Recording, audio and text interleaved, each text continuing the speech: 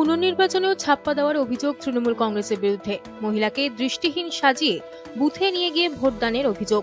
ঘটনাটি মুর্শিদাবাদের সালারের প্রসাদপুর গ্রামে। গ্রামবাসীদের অভিযোগ, সোমবার সকাল থেকেই ভোটারদের বাড়ি বাড়ি গিয়ে হুমকি দিচ্ছে শাসক দলের কর্মীরা।